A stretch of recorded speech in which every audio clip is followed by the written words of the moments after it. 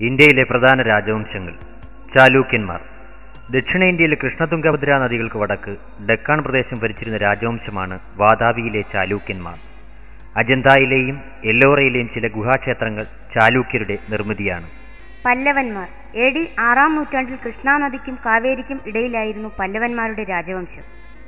A D ആറാം നൂറ്റാണ്ടിന്റെ അന്ത്യം മുതൽ ഒൻപതാം നൂറ്റാണ്ടിന്റെ അവസാനം വരെയായിരുന്നു പല്ലവ സാമ്രാജ്യത്തിന്റെ സുവർണകാലം. ചേരന്മാർ. ചേരന്മാരുടെ തലസ്ഥാനമാണ് വഞ്ചി. ഒമ്പതാം നൂറ്റാണ്ടിലാണ് രണ്ടാം ചേര സാമ്രാജ്യം സ്ഥാപിതമായത്. കുലശേഖരവർമ്മയാണ് രണ്ടാം ചേര സാമ്രാജ്യത്തിന്റെ സ്ഥാപകൻ. കേരളത്തിലെ മഹോദയപുരം അതായത് ഇന്നത്തെ കൊടുങ്ങല്ലൂർ ആയിരുന്നു ചേരന്മാരുടെ തലസ്ഥാനം. ചോളന്മാർ എ ഡി എണ്ണൂറ്റി അൻപതിൽ വിജയാല ആണ് ചോള രാജവംശം സ്ഥാപിച്ചത്. തമിഴ്നാട്ടിലെ തഞ്ചാവൂർ ആയിരുന്നു ചോളന്മാരുടെ തലസ്ഥാനം. കടുവയാണ് ചോളന്മാരുടെ രാജകീയ മുദ്ര. തഞ്ചാവൂരിലെ ബൃഹദ്വേശ്വര ക്ഷേത്രം പണിതത് രാജരാജ ഒന്നാമന്റെ കാലഘട്ടത്തിലാണ്. ഇന്ത്യ റോമൻ വ്യവസായ കേന്ദ്രമായ മുസിരിസ് ചേരന്മാരുടെ പ്രധാന തുറമുഖമാണ്. പാണ്ഡ്യന്മാർ. പാണ്ഡ്യന്മാരുടെ തലസ്ഥാനം മധുരയാണ്. മാരവർമ്മൻ സുന്ദരപാണ്ഡ്യൻ ഒന്നാമനാണ് മധ്യകാല പാണ്ഡ്യ സാമ്രാജ്യത്തിന്റെ സ്ഥാപകൻ. വിജയനഗര സാമ്രാജ്യം ഹരിഹരൻ ബുക്കൻ എന്നീ രണ്ടു സഹോദരന്മാരാണ് വിജയ സാമ്രാജ്യ സ്ഥാപകർ. വിജയനഗര സാമ്രാജ്യത്തിലെ പ്രമുഖ രാജാവാണ് കൃഷ്ണദേവരായർ. ഹംപിയാണ് വിജയനഗര സാമ്രാജ്യത്തിന്റെ തലസ്ഥാനം. കൃഷ്ണദേവരായർ അഭിനവ ഭോജ എന്നും അറിയപ്പെടുന്നു. ഇദ്ദേഹം ബാബറിന്റെ സമകാലികനാണ്. വിനീഷ്യൻ സഞ്ചാരിയായ നിക്കോളോ കോണ്ടി വിജയനഗര സാമ്രാജ്യം സന്ദർശിച്ചിട്ടുണ്ട്. കൃഷ്ണദേവരായരുടെ കാലം സാഹിത്യത്തിന്റെ അഗസ്റ്റൻ യുഗമായിരുന്നു. മൗര്യ രാജവംശം മൗര്യ രാജവംശ സ്ഥാപകനാണ് ചന്ദ്രഗുപ്ത മൗര്യൻ. ബി സി മുന്നൂറ്റി ഇരുപത്തിയൊന്നിൽ ചന്ദ്രഗുപ്ത മൗര്യൻ മൗര്യ സാമ്രാജ്യത്തിന് അടിത്തറയിട്ടു. മൗര്യ രാജവംശത്തിന്റെ തലസ്ഥാനമാണ് പാടലീപുത്രം. ചന്ദ്രഗുപ്ത മൗര്യന്റെ സദസ്സിലെ ഗ്രീക്ക് അംബാസഡറായിരുന്ന മെഗസ്തനീസ് എഴുതിയതാണ് ഇന്ത്യക്ക ഇന്ത്യയിലെ ആദ്യത്തെ വിദേശ സഞ്ചാരി മെഗസ്തനീസാണ്. കൗഡില്യനാണ് ചന്ദ്രഗുപ്ത സാമ്രാജ്യനെ സാമ്രാജ്യ സ്ഥാപനത്തിനും ഭരണകാര്യങ്ങളിലും സഹായിച്ചിരുന്നത്. ചാണക്യൻ വിഷ്ണു ശർമ്മ എന്നീ പേരുകളെ അറിയപ്പെട്ടിരുന്ന കൗഡില്യൻ രചിച്ച വിശ്വവിഖ്യാത ഗ്രന്ഥമാണ് അർത്ഥശാസ്ത്രം. കുശാന രാജവംശം. കനിഷ്കനാണ് കുശാന രാജവംശത്തിലെ ഏറ്റവും പ്രധാനപ്പെട്ട രാജാവ്. കനിഷ്കന്റെ തലസ്ഥാനമായിരുന്നു പെഷവാർ. ശകവർഷം ആരംഭിച്ചത് കനിഷ്കനാണ്. എ ഡി എഴുപത്തിയെട്ടിൽ ആരംഭിച്ച ശകവർഷത്തിലെ ആദ്യ മാസം ചൈത്രവും അവസാന മാസം ഫാൽഗുനവുമാണ്. കനിഷ്കൻ രണ്ടാമത്തെ അശോകൻ എന്നും അറിയപ്പെടുന്നു. ശ്രീബുദ്ധന്റെ രൂപം ആദ്യമായി നാണയങ്ങളിൽ ആലേഖനം ചെയ്ത രാജാവാണ് കനിഷ്കൻ. രാഷ്ട്രകൂടന്മാർ. രാഷ്ട്രകൂട രാജവംശ സ്ഥാപകൻ ദന്തിദുർഗൻ. എല്ലോറയിലെ കൈലാസനാഥ ക്ഷേത്രം പണിതത് രാഷ്ട്രകൂട രാജാവായ കൃഷ്ണൻ ഒന്നാമനായിരുന്നു. അമോഘവർഷം നാലാമനാണ് അവസാന രാഷ്ട്രകൂട രാജാവ്. കാലഘട്ടം. കാലഘട്ടം. എ ഡി ഇരുന്നൂറ്റി എഴുപത്തിയഞ്ചിലാണ് ഗുപ്ത സാമ്രാജ്യം സ്ഥാപിച്ചത്. ചന്ദ്രഗുപ്തനാണ് ഗുപ്ത രാജവംശത്തിന്റെ ആദ്യ ഭരണാധികാരിയായി കണക്കാക്കുന്നത്. എ ഡി മുന്നൂറ്റി ഇരുപതിലാണ് ഇദ്ദേഹം ഭരണം കൈയാളുന്നത്. ഇന്ത്യൻ നെപ്പോളിയൻ എന്നറിയപ്പെടുന്നത് സമുദ്രഗുപ്തനാണ്. വിക്രമാദിത്യൻ എന്ന പേരിൽ അറിയപ്പെടുന്നത് ചന്ദ്രഗുപ്തൻ രണ്ടാമനാണ്. സംസ്കൃതത്തിലെ നവരത്നങ്ങളെന്ന് വിഖ്യാതി നേടിയ കാളിദാസൻ ഉൾപ്പെടെയുള്ള ഒൻപത് മഹാകവികൾ ചന്ദ്രഗുപ്തൻ രണ്ടാമന്റെ സദസ്സിനെ അലങ്കരിച്ചിരുന്നു. വിക്രമാദിത്യന്റെ കാലഘട്ടത്തിൽ ചൈനീസ് സഞ്ചാരിയായ ഫാഹിയാൻ എ ഡി നാനൂറ്റിയഞ്ചിൽ ഇന്ത്യ സന്ദർശിച്ചിരുന്നു. പ്രാചീന ഇന്ത്യൻ ചരിത്രത്തിലെ സുവർണ കാലഘട്ടം എന്ന് വിശേഷിപ്പിക്കുന്നത് ഗുപ്ത ഭരണകാലമാണ് ഗുപ്തകലയുടെ ഉത്തമ ഉദാഹരണമാണ് അജന്ത ഗുഹയിലെ ചുവർ ചിത്രങ്ങൾ. ഹർഷവർദ്ധനൻ. വടക്കേന്ത്യയിലെ അവസാന ഹിന്ദു രാജാവാണ് ഹർഷവർദ്ധനൻ. ഹർഷന്റെ തലസ്ഥാനം കനൌജായിരുന്നു ഹർഷവർദ്ധന്റെ ശരിക്കുമുള്ള പേര് ശിലാദിത്യൻ എന്നായിരുന്നു. ചൈനീസ് സഞ്ചാരിയായ ഹുയാൻ സാങ് ഹർഷന്റെ കാലത്താണ് ഇന്ത്യ സന്ദർശിച്ചത്. അടിമവംശം. കുത്തബുദ്ദീൻ ഐബക് ഡൽഹിയിൽ സ്ഥാപിച്ച രാജവംശം അടിമവംശം എന്നറിയപ്പെടുന്നു. അടിമവംശമാണ് ഇന്ത്യയിലെ ആദ്യ മുസ്ലിം രാജവംശമായി അറിയപ്പെടുന്നത്. കുത്തബ് മിനാറിന്റെ പണി ആരംഭിച്ചത് കുത്തബുദ്ദീൻ ഐബക്കാണ്. ഇതിന്റെ പണി പൂർത്തിയാക്കിയത് ഇൽത്തുമിഷാണ്. അടിമവംശത്തിലെ ഏറ്റവും കഴിവുറ്റ ഭരണാധികാരിയായിരുന്നു ബാൽബൺ. ഇൽത്തുമിഷിന്റെ പുത്രിയായ റസിയ സുൽത്താനയാണ് ഡൽഹി ഭരിച്ച ഇന്ത്യയിലെ ആദ്യത്തേതും ഒരേയൊരു മുസ്ലിമുമായ വനിത. ഖിൽജി രാജവംശം. ആയിരത്തി ഇരുന്നൂറ്റി തൊണ്ണൂറ് എ ഡിയിലാണ് ജലാലുദ്ദീൻ ഖിൽജി ഖിൽജി രാജവംശത്തിന് തുടക്കമിട്ടത്. അലാവുദ്ദീൻ ഖിൽജി ആയിരുന്നു ഖിൽജി രാജവംശത്തിലെ പ്രമുഖനായ ഭരണാധികാരി. ഡൽഹിയിലെ സിറി ഫോർട്ട് നിർമ്മിച്ചത് അലാവുദ്ദീൻ ഖിൽജി ആയിരുന്നു. ഖിൽജി രാജവംശത്തിലെ അവസാനത്തെ രാജാവ് മുബാരക് ഷായാണ്. ആയിരത്തി മുന്നൂറ്റി ഇരുപതിൽ മുബാരക് ഷായെ ഖുസ്രു ഖാൻ വധിച്ചതോടെ ഖിൽജി രാജവംശം അധപ്പതിച്ചു തുഗ്ലക് രാജവംശം. ഗിയാസുദ്ദീൻ തുഗ്ലക് ആയിരത്തി മുന്നൂറ്റി ഇരുപതിൽ ഖുസ്രുഖാനെ വധിച്ചാണ് തുഗ്ലക് ഭരണവംശം സ്ഥാപിച്ചത്. തുഗ്ലക് രാജവംശത്തിലെ പ്രധാനപ്പെട്ട രാജാവ് മുഹമ്മദ് ബിൻ തുഗ്ലക്കാണ്. ടോക്കൺ കറൻസി സമ്പ്രദായം ആരംഭിച്ചത് മുഹമ്മദ് ബിൻ തുഗ്ലക്കാണ്. അദ്ദേഹം ബുദ്ധിമാനായ വിധി എന്നും അറിയപ്പെടുന്നു. ഹിന്ദുക്കളുടെ മേൽ ഏർപ്പെടുത്തിയ ജസിയ എന്ന നികുതി ആദ്യമായി നടപ്പിൽ വരുത്തിയത് ഫിറോഷ തുഗ്ലക്കാണ്. മുഗൾ രാജവംശം. ആയിരത്തി അഞ്ഞൂറ്റി ഇരുപത്തിയാറിൽ ഇബ്രാഹിം ലോധിയും ബാബറും തമ്മിൽ നടന്ന ഒന്നാം പാനിപ്പട്ട് യുദ്ധത്തിൽ ബാബറിന്റെ വിജയമാണ് മുഗൾ രാജവംശത്തിന്റെ തുടക്കത്തിന് കാരണമായത്.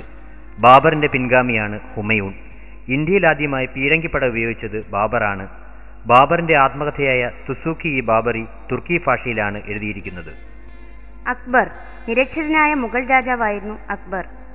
അക്ബറുടെ വഴികാട്ടിയും അമ്മാവനും രക്ഷാകർത്താവുമായിരുന്നു ബൈറാം ഖാൻ. അക്ബർ സ്ഥാപിച്ച മതമായിരുന്നു ദിൻ ഇലാഹി. അക്ബർ പണി കഴിപ്പിച്ച പുതിയ തലസ്ഥാനമാണ് ഫത്തേപൂർ സിക്രി. അക്ബറിന്റെ ഭൂനികുതി സമ്പ്രദായം അറിയപ്പെടുന്നത് സാപ്തി സമ്പ്രദായം എന്നാണ്. മുസ്ലിം അല്ലാത്തവരിൽ നിന്ന് പിരിക്കുന്ന നികുതിയായി ജസിയ അക്ബർ നിർത്തലാക്കി. ആയിരത്തി അറുന്നൂറിൽ ഈസ്റ്റ് ഇന്ത്യ കമ്പനി ലണ്ടനിൽ സ്ഥാപിക്കുമ്പോൾ ഇന്ത്യ ഭരിച്ചിരുന്നത് മുഗൾ ചക്രവർത്തിയായ അക്ബറാണ്. ആഗ്രാക്കോട്ട പഞ്ച്മഹൽ എന്നിവ നിർമ്മിച്ചത് അക്ബറായിരുന്നു ആയിരത്തി അഞ്ഞൂറ്റി എൺപത്തി അഞ്ചിൽ അക്ബറിന്റെ കൊട്ടാരം സന്ദർശിച്ച ആദ്യ ഇംഗ്ലീഷുകാരനാണ് റാൽഫ് ഫിച്ച്. ജഹാംഗീർ. അക്ബറിന്റെ പുത്രനായ ജഹാംഗീറിന്റെ ആദ്യകാല പേര് സലീം എന്നായിരുന്നു. സാധാരണ ജനങ്ങൾക്ക് ചക്രവർത്തിയെ നേരിൽ കണ്ട് പരാതികൾ ബോധിപ്പിക്കുന്നതിന് വേണ്ടി അദ്ദേഹം നീതിച്ചങ്കല നടപ്പിലാക്കി. മുഗൾ ചിത്രകല അതിന്റെ ഉച്ചകോടിയിലെത്തിയത് ജഹാംഗീറിന്റെ കാലത്താണ്. ഷാലിമാറും കാശ്മീരിലെ നിശാന്ത് പൂന്തോട്ടവും നിർമ്മിച്ചത് ജഹാംഗീറാണ്. ജഹാംഗീറിനെ ഭരണകാര്യങ്ങൾ സഹായിച്ചിരുന്നത് അദ്ദേഹത്തിന്റെ ഭാര്യയായ നൂർജഹാനാണ്. തുസൂക്കി ഇ ജഹാംഗീറി ജഹാംഗീറിന്റെ ആത്മകഥയുടെ പേരാണ്. ഷാജഹാൻ. ഷാജഹാന്റെ ഭരണകാലമാണ് മുഗൾ സാമ്രാജ്യത്തിന്റെ സുവർണകാലമെന്ന് അറിയപ്പെടുന്നത്. മയൂര സിംഹാസനം നിർമ്മിച്ചത് ഷാജഹാനാണ്. ഇത് പേർഷ്യൻ ആക്രമണകാരിയായ നാദിർ ഇറാനിലേക്ക് മോഷ്ടിച്ചു കൊണ്ടുപോയി.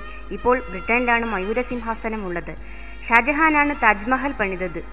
ചെങ്കോട്ട ജുമാ മസ്ജിദ് മോത്തി മസ്ജിദ് എന്നിവ പണിതത് ഷാജഹാനാണ്. നിർമ്മിതികളുടെ രാജകുമാരൻ ശില്പികളുടെ രാജാവ് എന്നറിയപ്പെടുന്ന ഷാജഹാൻ നിർമ്മിച്ച താജ്മഹലിന്റെ ആദ്യ പേര് മുംതാസ് മഹൽ എന്നായിരുന്നു. ഖുറം എന്നതാണ് ഷാജഹാന്റെ ശരിക്കുള്ള പേര്. ഔറംഗസീബ്. ആയിരത്തി അറുന്നൂറ്റി അൻപത്തിയെട്ടിൽ ഷാജഹാന്റെ മകനായ ഔറംഗസീബ് സ്വന്തം പിതാവിനെ തടവിലാക്കുകയും മറ്റ് സഹോദരന്മാരെ യുദ്ധത്തിൽ തോൽപ്പിക്കുകയും ചെയ്തതിനു ശേഷമാണ് മുഗൾ സിംഹാസനത്തിൽ അധികാരമേറ്റത്. ലാളിത്യം നിറഞ്ഞ ജീവിതശൈലി ഔറംഗസീബിന് ജീവിച്ചിരിക്കുന്ന സന്യാസി എന്ന വിശേഷണം നേടിക്കൊടുത്തു. സിഖുകാരുടെ ഒൻപതാമത്തെ ഗുരുവായ തേജ് ബഹദൂറിനെ ഔറംഗസീബ് ബാധിച്ചു. അക്ബർ നിർത്തലാക്കിയ ജസിയ എന്ന ഹിന്ദുകരം ഔറംഗസീബ് പുനരാരംഭിച്ചു. മുഗൾ രാജവംശത്തിലെ അവസാനത്തെ രാജാവായ ബഹദൂർ രണ്ടാമനാണ് ബഹദൂർ ഷാ സഫർ എന്നറിയപ്പെടുന്നത്. ആയിരത്തി എണ്ണൂറ്റി അൻപത്തിയേഴിലെ ഒന്നാം സ്വാതന്ത്ര്യ സമയത്തുണ്ടായ മുഗൾ രാജാവായിരുന്നു ബഹദൂർ ഷാ രണ്ടാമൻ. ഒന്നാം സ്വാതന്ത്ര്യ സമര പരാജയത്തെ തുടർന്ന് ഇദ്ദേഹത്തെ ബ്രിട്ടീഷുകാർ റങ്കൂണിലേക്ക് നാടുകടത്തി. സൂർ രാജവംശം. മുഗൾ രാജാവായ ഹുമയോണിനെ പരാജയപ്പെടുത്തി ഡൽഹി ഭരണം കൈവശപ്പെടുത്തിയ സൂർ വംശജനായ ഭരണാധികാരിയായിരുന്നു ഷെർഷാ സൂരി. ഷെർഷയാണ് സൂർ രാജവംശ സ്ഥാപകൻ. കൊൽക്കത്തയെയും അമൃത്സറിനെയും ബന്ധിപ്പിക്കുന്ന ഗ്രാൻഡ് ട്രങ്ക് റോഡ് നിർമ്മിച്ചത് ഷെർഷയാണ്. റുപ്യ എന്ന നാണയ സമ്പ്രദായം തുടങ്ങിയതും ഇന്ത്യയിൽ ആദ്യമായി ഒരു രൂപ നാണയം ഇറക്കിയതും ഷെർഷയാണ്. മറാത്ത വംശം. മറാത്ത വംശത്തിലെ ഏറ്റവും ശക്തനായ രാജാവായിരുന്നു ശിവജി. ആയിരത്തി അറുന്നൂറ്റി എഴുപത്തിനാലിൽ ശിവജി ഛത്രപതി എന്ന സ്ഥാനപ്പേര് സ്വീകരിച്ചു. ഹൈന്ദവ ധർമ്മോദ്ധാരക എന്ന സ്ഥാനപ്പേര് സ്വീകരിച്ച ഭരണാധികാരിയായിരുന്നു ശിവജി. അഷ്ടപ്രധാൻ എന്ന പേരിലറിയപ്പെടുന്ന എട്ട് മന്ത്രിമാരുടെ സഹായത്താലാണ് ശിവജി ഭരണം നടത്തിയിരുന്നത്. ഇവരിൽ മുഖ്യനാണ് പേഷു എന്ന സ്ഥാനപ്പേരിൽ അറിയപ്പെടുന്ന പ്രധാനമന്ത്രി. ബാലാജി വിശ്വനാഥനാണ് മറാത്ത വംശത്തിലെ ആദ്യത്തെ പേഷ്വ.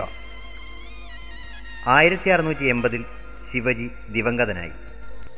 വൈദേശിക ആധിപത്യത്തിന് തുടക്കം കുറിച്ചുകൊണ്ട് ആയിരത്തി നാനൂറ്റി തൊണ്ണൂറ്റിയെട്ടിൽ പോർച്ചുഗീസുകാരനായ വാസ്കോഡ് ഗാമ കോഴിക്കോടിനടുത്തുള്ള കാപ്പാട് കടപ്പുറത്ത് കപ്പലിറങ്ങിയതോടെയാണ് ഇന്ത്യയിൽ യൂറോപ്യൻ യുഗത്തിന് തുടക്കം കുറിച്ചത്. ഇന്ത്യയിലെ ആദ്യത്തെ പോർച്ചുഗീസ് വൈസ്രോയിയാണ് അൽമേഡ. ഇന്ത്യയിലെ രണ്ടാമത്തെ പോർച്ചുഗീസ് വൈസ്രോയിയാണ് അൽബുക്കർക്ക്. പോർച്ചുഗീസ് രാജാവിന്റെ ബഹുമാനാർത്ഥം ഫോർട്ട് മാനുവൽ എന്ന നാമകരണം ചെയ്യപ്പെട്ട കോട്ടയാണ് ഇന്ത്യയിൽ നിർമ്മിക്കപ്പെട്ട ആദ്യത്തെ യൂറോപ്യൻ കോട്ട. അൽബുക്കർക്കാണ് ഇത് പണി കഴിപ്പിച്ചത്. ഇന്ത്യയിൽ ആദ്യമായി വന്ന പാശ്ചാത്യ ശക്തിയും ഏറ്റവും അവസാനമായി ഇന്ത്യ വിട്ടുപോയ പാശ്ചാത്യ ശക്തിയും പോർച്ചുഗീസുകാരാണ്.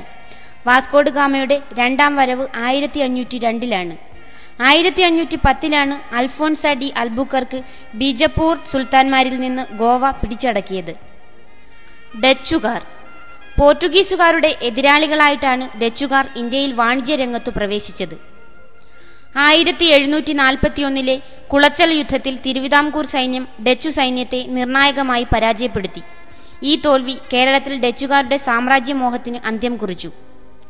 ഹോർത്തൂസ് മലബാറിക്കസ് എന്ന ഗ്രന്ഥം ഡച്ചുകാരുടെ സംഭാവനയാണ്.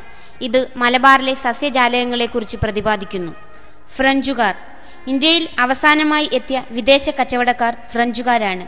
English East India company A D ആയിരത്തി അറുന്നൂറിൽ ഇംഗ്ലീഷ് ഈസ്റ്റ് ഇന്ത്യ കമ്പനി സ്ഥാപിക്കപ്പെട്ടു. ബ്രിട്ടീഷ് സാമ്രാജ്യത്തിന് അടിത്തറയിട്ട യുദ്ധമായിരുന്നു എ ഡി ആയിരത്തി എഴുന്നൂറ്റി അൻപതിൽ നടന്ന പ്ലാസി യുദ്ധം. ഇന്ത്യയിൽ ബ്രിട്ടീഷ് രാഷ്ട്രീയ അധികാരത്തിന് അടിസ്ഥാനമിട്ട സ്ഥലം ബോംബെ ആയിരുന്നു. ഒന്നാം കർണാടക യുദ്ധത്തിൽ ഫ്രഞ്ച് സൈന്യത്തെ നിയന്ത്രിച്ചിരുന്ന ഗവർണർ ഡ്യൂപ്ലെ ആയിരുന്നു. ബക്സർ യുദ്ധം ആയിരത്തി എഴുന്നൂറ്റി അറുപത്തിനാലിലായിരുന്നു മിർകാസിംഗ് മുഗൾ ചക്രവർത്തിയായ ഷാ ആലം ഔഡിലെ നവാബായ സിറാജുദ്ദൌള എന്നീ ത്രിശക്തി സഖ്യത്തിന്റെ സംയുക്ത സേനയെയാണ് ബ്രിട്ടീഷ് സൈന്യം തോൽപ്പിച്ചത്. റോബർട്ട് ക്ലൈവാണ് ബംഗാളിൽ ദ്വിഭരണം ഏർപ്പെടുത്തിയത്. റോബർട്ട് ക്ലൈവിനെ തുടർന്ന് വാരൻ ഹേസ്റ്റിംഗ്സ് ബംഗാളിലെ ആദ്യ ഗവർണർ ജനറലായി. ബ്രിട്ടീഷ് പാർലമെന്റ് ഇംപീച്ച് ചെയ്ത ആദ്യ ഗവർണർ ജനറലാണ് വാരൻ ഹേസ്റ്റിംഗ്സ്. ബംഗാളിലെ ദ്വിഭരണം റദ്ദാക്കിയത് വാരൻ ഹേസ്റ്റിംഗ്സ് ആണ് ഇംഗ്ലീഷ് ഭരണം അടിച്ചേൽപ്പിച്ച ദുരിതങ്ങളിൽ രോഷം പൂണ്ട് ബംഗാളിൽ മത ആചാര്യന്മാർ നേതൃത്വം നൽകിയ കലാപം സന്യാസി ഫക്കീർ കലാപം എന്നാണ് അറിയപ്പെടുന്നത്. ആയിരത്തി എഴുന്നൂറ്റി എഴുപത്തിരണ്ടിലാണ് ഈ കലാപം ആരംഭിച്ചത്. ഈസ്റ്റ് ഇന്ത്യ കമ്പനിയെ നിയന്ത്രിക്കുന്നതിന് ബ്രിട്ടീഷ് പാർലമെന്റ് പാസാക്കിയ ആദ്യ നിയമമായിരുന്നു റെഗുലേറ്റിംഗ് ആക്ട്. സുപ്രീം സിവിൽ കോടതിയും സുപ്രീം ക്രിമിനൽ കോടതിയും സ്ഥാപിച്ചത് വാറൻ ഹേസ്റ്റിംഗ്സ് ആണ്. കോൺവാലിസ് പ്രഭുവിന്റെ ഏറ്റവും പ്രധാനപ്പെട്ട പരിഷ്കാരമായിരുന്നു ശാശ്വത ഭൂനികുതി വ്യവസ്ഥ. ബ്രിട്ടീഷ് ഇന്ത്യയുടെ ആദ്യ ഗവർണർ ജനറലാണ് വില്യം ബെൻഡിക് പ്രഭു. വില്യം ബെൻഡിക് ആയിരത്തി എണ്ണൂറ്റി മുപ്പത്തി അഞ്ചിൽ ഒന്നാമത്തെ മെഡിക്കൽ കോളേജ് കൊൽക്കത്തയിൽ ആരംഭിച്ചു. ഇന്ത്യൻ ശിക്ഷാ നിയമത്തിന്റെ ശില്പി എന്നറിയപ്പെടുന്നത് മെക്കാളെ പ്രഭുവാണ്. ഇന്ത്യയുടെ വിദ്യാഭ്യാസ പ്രമാണം എന്നറിയപ്പെടുന്ന സർ ചാൾസ് വുഡിന്റെ വിദ്യാഭ്യാസ ശുപാർശകൾ ഇന്ത്യയിൽ നടപ്പിലാക്കിയത് ഡൽഹൌസിയാണ്. ആയിരത്തി എണ്ണൂറ്റി എഴുപത്തിരണ്ടിൽ ആൻഡമാനിൽ വെച്ച് കൊല ചെയ്യപ്പെട്ട വൈസ്രോയിയാണ് മായോ പ്രഫു ആയിരത്തി എണ്ണൂറ്റി എഴുപത്തിയെട്ടിൽ ലിട്ടൺ പ്രഫു ആണ് പ്രാദേശിക ഭാഷാ നിയമം നടപ്പിലാക്കിയത്. ആയിരത്തി എണ്ണൂറ്റി അൻപത്തിയേഴിലെ മഹത്തായ വിപ്ലവം. ആയിരത്തി എണ്ണൂറ്റി അൻപത്തിയേഴിലെ വിപ്ലവം ഒന്നാം ഇന്ത്യൻ സ്വാതന്ത്ര്യ സമരം എന്ന പേരിലാണ് അറിയപ്പെടുന്നത്. ആയിരത്തി എണ്ണൂറ്റി അൻപത്തിയേഴ് മെയ് പത്താം തീയതി ഡൽഹിയിൽ നിന്നും അൻപത്തിയെട്ട് കിലോമീറ്റർ അകലെയുള്ള മീററ്റിലാണ് വിപ്ലവം ആരംഭിച്ചത്. ആയിരത്തി എണ്ണൂറ്റി അൻപത്തിയേഴിലെ വിപ്ലവത്തിലെ ആദ്യ രക്തസാക്ഷിയാണ് മംഗൾ പാണ്ഡെ. ആയിരത്തി എണ്ണൂറ്റി അൻപത്തിയേഴിലെ ലഹളയെ ഒന്നാം സ്വാതന്ത്ര്യ സമരം എന്ന് വിശേഷിപ്പിച്ചത് വി. ഡി. സർക്കാർ ആണ്. ഇന്ത്യൻ ദേശീയ പ്രസ്ഥാനം. ആയിരത്തി എണ്ണൂറ്റി അൻപത്തിരണ്ടിൽ ദാദാഭായ് നവറോജിയും കൂട്ടരും ചേർന്ന് ബോംബെ അസോസിയേഷൻ സ്ഥാപിച്ചു. സർവീസിൽ നിന്ന് വിരമിച്ച എയോ ഹ്യൂം എന്ന ഇംഗ്ലീഷുകാരനാണ് ഇന്ത്യൻ നാഷണൽ കോൺഗ്രസിന്റെ സ്ഥാപകൻ. ഡഫറിൻ പ്രഭുവാണ് ഈ സമയത്തെ വൈസ്രോയി. ഇന്ത്യൻ നാഷണൽ കോൺഗ്രസിന്റെ ആദ്യ പ്രസിഡന്റായിരുന്നു ഡബ്ല്യു സി ബാനർജി. ദാദാഭായ് നവറോജിയാണ് കോൺഗ്രസ് എന്ന പേര് സംഘടനയ്ക്ക് നിർദ്ദേശിച്ചത്. ഇന്ത്യൻ നാഷണൽ കോൺഗ്രസിന്റെ ആദ്യ മുസ്ലിം പ്രസിഡന്റായിരുന്നു ബദറുദ്ദീൻ തിയാബ്ജി. ഇന്ത്യൻ നാഷണൽ കോൺഗ്രസിന്റെ ആദ്യ ഇന്ത്യൻ വനിതാ president Sarojini Naidu. Indian national കോൺഗ്രസിന്റെ ആദ്യ തെരഞ്ഞെടുത്ത പ്രസിഡന്റാണ് സുഭാഷ് ചന്ദ്രബോസ്. വന്ദേ വയോധികൻ എന്നറിയപ്പെടുന്നത് ദാദാഭായ് നവറോജിയാണ്. ബ്രിട്ടീഷ് പാർലമെന്റിലേക്ക് തിരഞ്ഞെടുത്ത ആദ്യ ഇന്ത്യക്കാരനാണ് ദാദാഭായ് നവറോജി. ഇന്ത്യൻ വിപ്ലവത്തിന്റെ മാതാവ് എന്നറിയപ്പെടുന്നത് മാഡം ബിക്കാജി കാമയാണ്. ബംഗാൾ വിഭജനം. ആയിരത്തി എണ്ണൂറ്റി തൊണ്ണൂറ്റി ഒൻപത് മുതൽ ആയിരത്തി തൊള്ളായിരത്തി അഞ്ച് വരെ വൈസ്രോയി ആയിരുന്ന കഴ്സൺ പ്രഭു ആയിരത്തി തൊള്ളായിരത്തി അഞ്ചിലാണ് ബംഗാൾ വിഭജിച്ചത്. മതത്തിന്റെ പേരിൽ ജനങ്ങളെ തമ്മിൽ അകറ്റി ദേശീയ പ്രസ്ഥാനത്തെ ദുർബലപ്പെടുത്തുക എന്നതായിരുന്നു ഈ വിഭജനത്തിന്റെ യഥാർത്ഥ ലക്ഷ്യം. ബംഗാൾ വിഭജനത്തെ തുടർന്ന് വിദേശ വസ്തുക്കളെ ബഹിഷ്കരിച്ചും സ്വദേശ വസ്തുക്കളെ പ്രോത്സാഹിപ്പിച്ചും കോൺഗ്രസ് എതിർപ്പ് പ്രകടിപ്പിച്ചു. ഇതാണ് സ്വദേശി പ്രസ്ഥാനം. ഇതിന്റെ ഫലമായി ഹാർഡിഞ്ച് പ്രഭു രണ്ടാമൻ ആയിരത്തി തൊള്ളായിരത്തി പതിനൊന്നിൽ ബംഗാൾ വിഭജനം റദ്ദു ചെയ്തു. സൂററ്റ് വിഭജനം. കോൺഗ്രസിലെ മിതവാദികളും തീവ്രവാദികളും തെറ്റിപ്പിരിഞ്ഞ സംഭവമാണ് സൂറത്ത് വിഭജനം. സ്വരാജ്യം എന്റെ ജന്മാവകാശം എന്ന മുദ്രാവാക്യം കോൺഗ്രസിന് സമ്മാനിച്ചത് ബാലഗംഗാധര തിലകനാണ്. ആയിരത്തി തൊള്ളായിരത്തി പതിനാറിലെ ഇന്ത്യൻ നാഷണൽ കോൺഗ്രസിന്റെ ലഖ്നൌ ഉടമ്പടിയിലാണ് തീവ്രവാദികളും മിതവാദികളും ഒന്നിച്ചത്. ആയിരത്തി തൊള്ളായിരത്തി ഒൻപത് മിൻഡോ മോർലി ഭരണപരിഷ്കാരം. മുസ്ലിങ്ങൾക്ക് പ്രത്യേക നിയോജക മണ്ഡലങ്ങൾ ഏർപ്പെടുത്തിയത് ആയിരത്തി തൊള്ളായിരത്തി ഒൻപതിലെ മിൻഡോ മോർലി ഭരണപരിഷ്കാരമാണ്. ആയിരത്തി തൊള്ളായിരത്തി പത്തൊൻപത് മൊണ്ടേഗു ചെംസ്ഫോർഡ് ഭരണപരിഷ്കാരം. ഇന്ത്യയിലെ വൈസ്രോയി ആയിരുന്ന ചെംസ്ഫോർഡ് പ്രഭുവും അന്നത്തെ ഇന്ത്യ സെക്രട്ടറി ആയിരുന്ന എഡ്വിൻ മൊണ്ടേഗുവും ചേർന്ന് നടപ്പിലാക്കിയ പരിഷ്കാരങ്ങളാണ് മൊണ്ടേഗു ചെംസ്ഫോർഡ് ഭരണപരിഷ്കാരങ്ങൾ എന്ന് പറയുന്നത്. ആയിരത്തി തൊള്ളായിരത്തി പത്തൊൻപതിൽ മുഹമ്മദ് അലിയുടെയും ഷൗക്കത്ത് അലിയുടെയും നേതൃത്വത്തിൽ നടന്ന ബ്രിട്ടീഷ് വിരുദ്ധ കലാപമാണ് ഖിലാഫത്ത് പ്രസ്ഥാനം. ആയിരത്തി തൊള്ളായിരത്തി പത്തൊൻപത് ഏപ്രിൽ പതിമൂന്നിനാണ് ജാലിയൻ വാലാബാഗ് സംഭവം നടന്നത്. ആയിരത്തി തൊള്ളായിരത്തി ഇരുപത് നിസ്സഹകരണ പ്രസ്ഥാനം. ആയിരത്തി തൊള്ളായിരത്തി ഇരുപതിലെ കൊൽക്കത്ത സമ്മേളനത്തിലാണ് നിസ്സഹകരണ പ്രസ്ഥാനം പാസാക്കിയത്. ആയിരത്തി തൊള്ളായിരത്തി ഇരുപതിൽ അഖിലേന്ത്യാ trade union Congress സ്ഥാപിതമായി. Simon commission. Montagu Chelmsford act അനുസരിച്ച് നടപ്പിലാക്കിയ ഇന്ത്യയിലെ ഭരണപരിഷ്കാരങ്ങളെക്കുറിച്ച് അന്വേഷിക്കാൻ ബ്രിട്ടീഷ് ഗവൺമെന്റ് ആയിരത്തി തൊള്ളായിരത്തി ഇരുപത്തിയേഴിൽ ഒരു കമ്മീഷനെ നിയോഗിച്ചു. സർ ജോൺ സൈമൺ ആയിരുന്നു കമ്മീഷന്റെ ചെയർമാൻ. അതുകൊണ്ടാണ് സൈമൺ കമ്മീഷൻ എന്ന പേരിൽ അതറിയപ്പെടുന്നത്. സൈമൺ കമ്മീഷൻ ഇന്ത്യ സന്ദർശിച്ചപ്പോൾ ഇന്ത്യയിലെ വൈസ്രോയി ആയിരുന്നു ഇർവിൻ പ്രഭു. പൂർണ സ്വരാജ്. ആയിരത്തി തൊള്ളായിരത്തി ഇരുപത്തി ഒൻപത് ഡിസംബർ മുപ്പത്തിയൊന്നിന് ജവഹർലാൽ നെഹ്റുവിന്റെ നേതൃത്വത്തിലുള്ള ലാഹോർ സമ്മേളനത്തിൽ കോൺഗ്രസിന്റെ ലക്ഷ്യം പൂർണ സ്വരാജ് ആണെന്ന് പ്രഖ്യാപിക്കപ്പെട്ടു. സ്വാതന്ത്ര്യത്തിന്റെ പ്രതീകമായി സമ്മേളനത്തിൽ ത്രിവർണ പതാക ഉയർത്തുകയുണ്ടായി. കൂടാതെ ആയിരത്തി തൊള്ളായിരത്തി മുപ്പത് ജനുവരി ഇരുപത്തിയാറ് ഒന്നാം സ്വാതന്ത്ര്യ ദിനമായി പ്രഖ്യാപിച്ചു. വട്ടമേശ സമ്മേളനങ്ങൾ. ഇന്ത്യൻ പ്രശ്നത്തിന് പരിഹാരമുണ്ടാക്കണമെന്നാഗ്രഹിച്ച ബ്രിട്ടീഷ് ഗവൺമെന്റ് ഇന്ത്യൻ നേതാക്കളെ ലണ്ടനിലേക്ക് ക്ഷണിച്ചു. ഇതാണ് വട്ടമേശ സമ്മേളനങ്ങൾ എന്നറിയപ്പെടുന്നത്. ആയിരത്തി തൊള്ളായിരത്തി മുപ്പത് ആയിരത്തി തൊള്ളായിരത്തി മുപ്പത്തിയൊന്ന് ആയിരത്തി തൊള്ളായിരത്തി മുപ്പത്തിരണ്ട് എന്നീ വർഷങ്ങളിലാണ് മൂന്ന് വട്ടമേശ സമ്മേളനങ്ങൾ നടന്നത്. ഒന്നാമത്തെയും മൂന്നാമത്തെയും സമ്മേളനങ്ങളിൽ കോൺഗ്രസ് പങ്കെടുത്തില്ലെങ്കിലും രണ്ടാമത്തെ സമ്മേളനത്തിൽ കോൺഗ്രസിന്റെ ഏക പ്രതിനിധിയായി ഗാന്ധിജി പങ്കെടുത്തു. സിവിൽ ആജ്ഞാ ലംഘന പ്രസ്ഥാനം. ആയിരത്തി തൊള്ളായിരത്തി മുപ്പതിൽ ദണ്ഡി യാത്രയോടുകൂടി സിവിൽ ആജ്ഞാ ലംഘന പ്രസ്ഥാനം ആരംഭിച്ചു. ആയിരത്തി തൊള്ളായിരത്തി മുപ്പത് മാർച്ച് പന്ത്രണ്ടിന് അഹമ്മദാബാദിലെ സബർമതി ആശ്രമത്തിൽ നിന്ന് എഴുപത്തിയെട്ട് പേരുമായാണ് ദണ്ഡിയിലേക്ക് കാൽനടയായി ഗാന്ധിജി യാത്ര ആരംഭിച്ചത്. ആയിരത്തി തൊള്ളായിരത്തി മുപ്പത് ഏപ്രിൽ ആറിന് ദണ്ഡി കടപ്പുറത്തെത്തി. ആയിരത്തി തൊള്ളായിരത്തി മുപ്പത്തിയഞ്ചിലെ ഇന്ത്യ ഗവൺമെന്റ് ആക്ട് പ്രകാരമാണ് ആയിരത്തി തൊള്ളായിരത്തി മുപ്പത്തിയേഴിൽ പ്രാദേശിക സ്വയംഭരണം നടപ്പിലാക്കിയത്. ആയിരത്തി തൊള്ളായിരത്തി നാൽപ്പത്തിരണ്ടിലെ ക്രിപ്സ് മിഷൻ. രണ്ടാം ലോക മഹായുദ്ധത്തിൽ ഇന്ത്യക്കാരുടെ പിന്തുണ തേടുന്നതിനു വേണ്ടി സർ സ്റ്റാഫോർഡ് ക്രിപ്സിനെ ഇന്ത്യയിലേക്ക് അയച്ചു. തകരുന്ന ബാങ്കിൽ മാറാൻ നൽകിയ കാലഹരണപ്പെട്ട ചെക്ക് എന്ന് ഗാന്ധിജി വിശേഷിപ്പിച്ചത് എന്തിനെയായിരുന്നു? Cripps mission. ആയിരത്തി തൊള്ളായിരത്തി നാൽപ്പത്തിരണ്ട് ക്വിറ്റ് ഇന്ത്യ പ്രക്ഷോഭം. ആയിരത്തി തൊള്ളായിരത്തി നാൽപ്പത്തിരണ്ട് ഓഗസ്റ്റ് എട്ടിന് അഖിലേന്ത്യാ കോൺഗ്രസ് കമ്മിറ്റി ബോംബെയിൽ ചേർന്നാണ് ചരിത്രപ്രസിദ്ധമായ ക്വിറ്റ് ഇന്ത്യ പ്രമേയം പാസാക്കിയത്. ക്വിറ്റ് ഇന്ത്യ പ്രമേയം അവതരിപ്പിച്ചത് ജവഹർലാൽ നെഹ്റുവാണ് ആയിരത്തി തൊള്ളായിരത്തി നാൽപ്പത്തിരണ്ടിലെ ക്വിറ്റ് ഇന്ത്യ പ്രക്ഷോഭത്തിന്റെ നായികയായിരുന്നു അരുണ അസഫ് അലി. പ്രവർത്തിക്കുക അല്ലെങ്കിൽ മരിക്കുക എന്ന ആഹ്വാനം ഗാന്ധിജി നൽകിയതെപ്പോൾ? ക്വിറ്റ് ഇന്ത്യ പ്രക്ഷോഭ സമയത്ത്. Indian national army forward bloc Indian national army എന്നിവയുടെ സ്ഥാപകൻ സുഭാഷ് ചന്ദ്രബോസ് ആയിരുന്നു.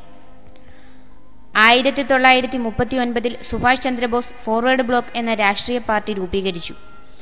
ആയിരത്തി തൊള്ളായിരത്തി നാൽപ്പത്തി മൂന്നിൽ സിംഗപ്പൂരിൽ Subhash Chandrabose I N A സ്ഥാപിച്ചു. ദില്ലി ചലോ ജയ് ഹിന്ദ് എന്നിവ സുഭാഷ് ചന്ദ്രബോസിന്റെ മുദ്രാവാക്യങ്ങളാണ്. ക്യാബിനറ്റ് മിഷൻ ആയിരത്തി തൊള്ളായിരത്തി നാൽപ്പത്തിയാറ്. ബ്രിട്ടീഷ് മന്ത്രിസഭാംഗങ്ങളായ Pethick Lawrence പ്രഫു sir Stafford Cripps A V Alexander എന്നിവർ ഉൾപ്പെട്ടതാണ് ക്യാബിനറ്റ് മിഷൻ. ആയിരത്തി തൊള്ളായിരത്തി നാൽപ്പത്തി ആറ് ഓഗസ്റ്റ് പതിനാറ് മുസ്ലിം ലീഗ് എന്ത് ദിനമായിട്ടാണ് പ്രഖ്യാപിച്ചത്? പ്രത്യക്ഷ സമര ദിനം. ആയിരത്തി തൊള്ളായിരത്തി നാൽപ്പത്തി ആറിലെ ക്യാബിനറ്റ് മിഷനാണ് അധികാര കൈമാറ്റവുമായി ബന്ധപ്പെട്ട കാര്യങ്ങൾ നേതാക്കളുമായി ചർച്ച ചെയ്തത്. ആയിരത്തി തൊള്ളായിരത്തി നാൽപ്പത്തിയാറിൽ രൂപീകരിച്ച ഇടക്കാല ഗവൺമെന്റിന്റെ നേതൃത്വം ജവഹർലാൽ നെഹ്റുവിനായിരുന്നു. ഇന്ത്യ ആയിരത്തി തൊള്ളായിരത്തി നാൽപ്പത്തിയേഴ് ഓഗസ്റ്റ് പതിനഞ്ചിന് സ്വാതന്ത്ര്യം നേടി. ആയിരത്തി തൊള്ളായിരത്തി നാൽപ്പത്തി ഒൻപത് നവംബർ ഇരുപത്തിയാറിന് ഇന്ത്യൻ ഭരണഘടന അംഗീകരിക്കപ്പെട്ടു. ആയിരത്തി തൊള്ളായിരത്തി അൻപത് ജനുവരി ഇരുപത്തിയാറിന് ഭരണഘടന നിലവിൽ വരികയും ചെയ്തു.